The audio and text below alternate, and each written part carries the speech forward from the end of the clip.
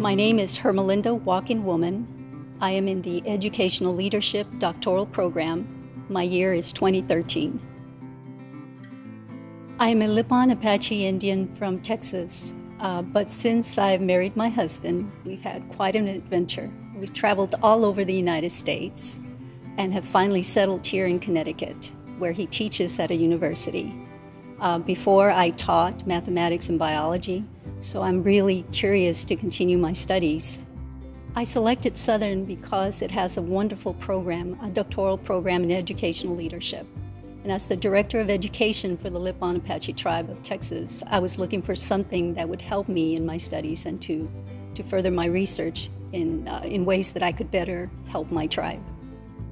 I grew up in eastern Connecticut. I got my bachelor's degree and moved around the country a little bit with the military and ended up coming back to Connecticut a few years ago uh, and decided to pursue a career in speech language pathology.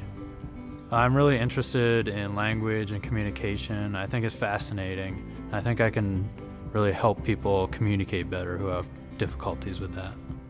I like Southern because it's a beautiful campus. They're always improving the facilities. We have a brand new library, new science building is just going up, and it's a great location in New Haven. The program here is great. It's very intense, involves a lot of clinical and practical applications. Um, Got to work really hard, but I think it'll pay off in the end. My name is Ashley Monk. I'm in the social work program here at Southern, and I started in 2014 and I'm graduating in 2016. Um, I chose the social work program here at Southern because of its intense internship opportunities. The supervisors really get to know you on a personal and professional level, which helps you to be able to try new things and not be afraid to fail because you work so closely with them that it turns into more of a learning experience. Uh, one of my most defining experiences here at Southern Connecticut, I would have to say, it would be from the mentoringship and the faculty within the business school. Uh, looking back, Without them, I wouldn't be here today. Uh, there's been many days and nights, sometimes just uh, trying to get through the program and, uh, you know, staying focused and disciplined. Um, with their help, it really pushed me and put me in a position to where I am today.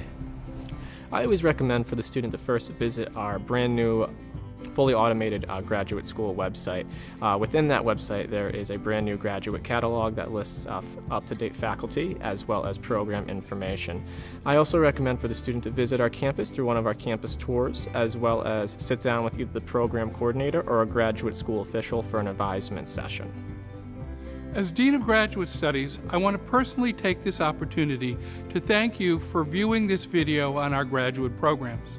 As Southern continues to grow its graduate programs, I hope you'll take the opportunity to reach out and schedule a meeting with one of our graduate admission staff and to take a tour of the campus.